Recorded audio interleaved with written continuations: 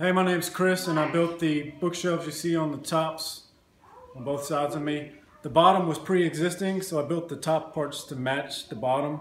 Forgot to do a before shot, so if I find a picture, you'll see it while I'm talking. Otherwise, you'll just have to imagine it without the bookshelves there. but uh, anyway, if you want to see how I did this, then uh, stick around.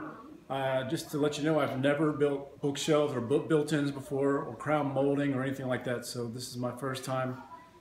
Please go easy on me if you've done this before. If you have any advice, uh, please share it in the comments below. Let's go. This is everything I've bought so far. Uh, one sheet of plywood and I had them cut it down to 12 inches wide uh, in four different strips at the store. I got a 16 foot long piece of crown molding that, that I cut in half. And then I got two uh, one by eights by eight foot select pines, kind of the pine without the uh, the knots in it. So my table saw sled is out of square pretty bad. I don't want these to be out of square, so I'm going to use my circular saw and cut everything down to length. And then once everything's smaller and easier to manage, then I'll cut everything down to width on the table saw itself. I need four pieces of 42 inches. So I'm going to cut them all just a tad bit over 42 inches. And then uh, I'll tape them together, make one final cut all at the same time at 42 even.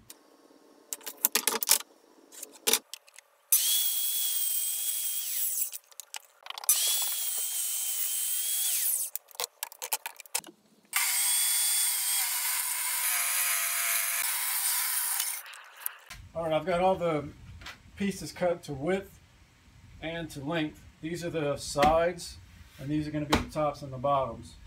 So right now, before I put everything together, I want to drill some shelf pin holes for the uh, shelves to sit on, and I'm going to do that with the Kreg shelf pin jig, which I bought just for this purpose. So let's get started. I do know that I want the holes to start about six inches from the top. I'm going to draw some lines here across every both side pieces. So of course this is the say the left side, this is the right side. I want the holes to be straight all the way across. And just to make sure I got the jig started at the right spot, I'm gonna clamp down this level here to make sure that I start at the same spot.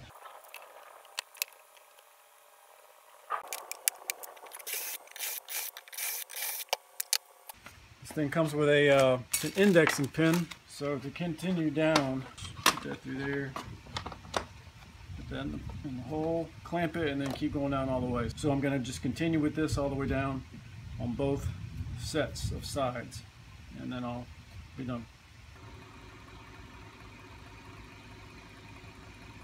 All right, so all the shell pins or shell pin holes are cut.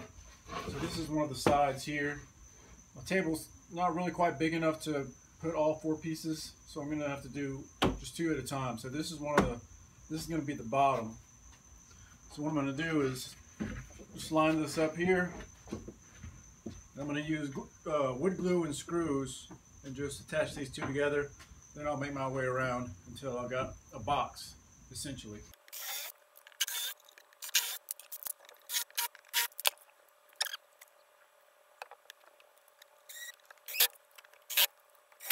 Alright, well that's the first one. Got one more left. And I can start making the face frame.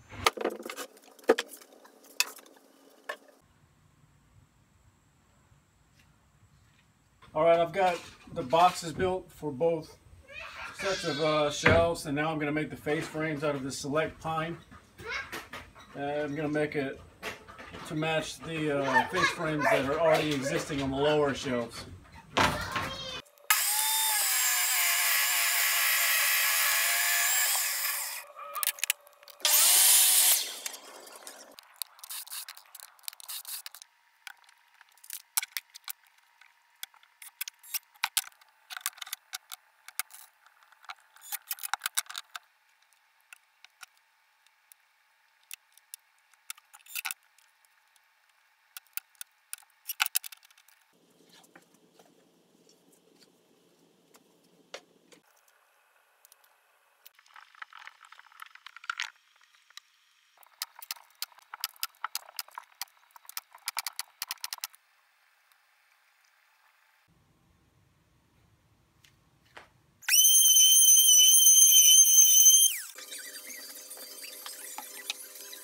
All right, so both cabinets are painted. There's one, I got the other one laying with the face down on top of the table with a blanket so I don't mar the, the face frame. Uh, so now what I've got to do is attach the bead board to the back. I did have it cut down a little bit at the home stores just so I could transport it. So I'll have to just kind of draw a line and trim it off with the circular saw to get it to the right size. Alright, so now I need just this little small piece that connects on this side. So I'm to use the another piece. And the way you buy them, I guess, is a the factory edge. One side joins with another piece so it lines up. Alright, the bead board's done. I've brought them inside the cabinets. Now I'm ready to put them on top of the pre-existing cabinets.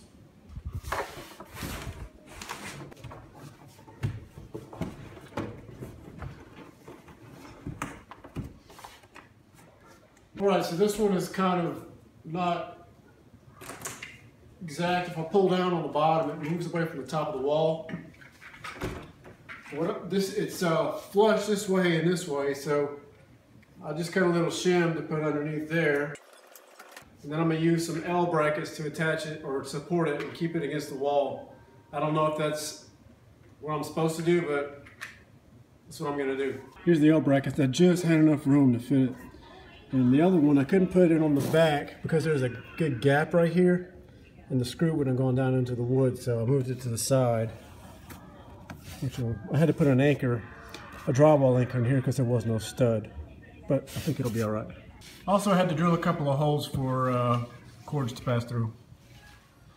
All right, these are the bottom shelves, and I made the top to match, I tried to match exactly uh, this, which was pre-existing in the house. So it came with some adjustable shelves, several of them, we have like four left over. We took a couple out.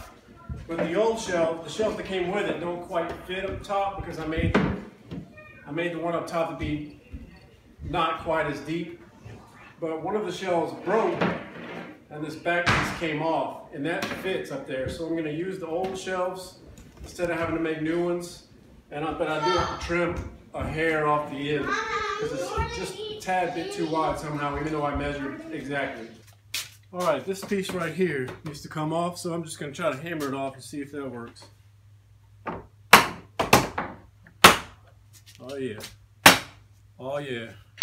Oh yeah. Oh yeah. Break it down. That was easy. And obviously the bottoms are gonna have to be repainted. They look pretty nasty, so I'm gonna go ahead and hit them with some sandpaper just to uh, clean it up a little bit.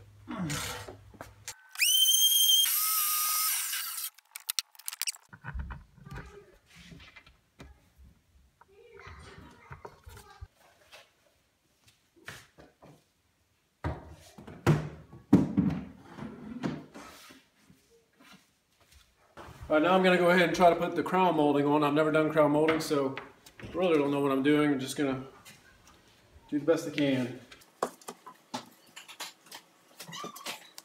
I'm cutting the left component now, so I've got the blade tilt, uh, turned to 45 degrees to the left. I've got the molding upside down. I've got my mark here. I'm just gonna sneak up on it. Cut it a little bit long and then just take my time and do a little bit at a time until I get there. I should uh, plug the saw in first.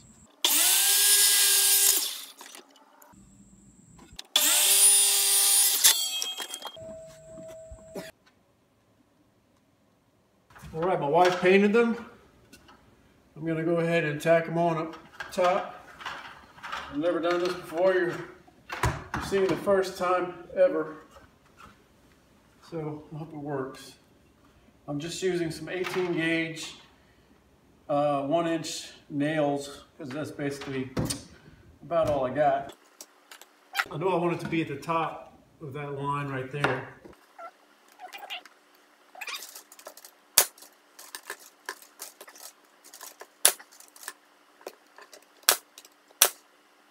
Guess that's right.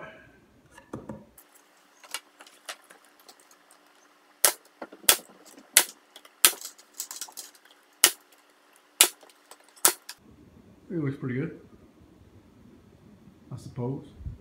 All right, I cut some more molding and my wife painted it and it's the molding that's gonna go against to cover up kind of all the cracks where the and, uh, screw heads because I found out that the house is not level as I mentioned before so there's cracks here and there where the wall doesn't meet up with the bookcase. So I'm going to go ahead and use my brad nailer and attach this.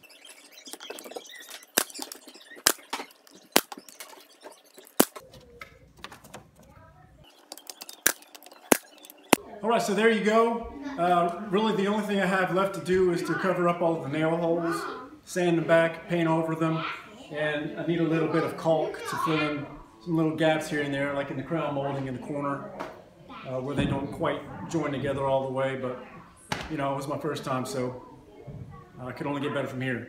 Thanks for watching. Please subscribe. Stick around. Uh, I've got plenty of other videos for you to watch. See you later.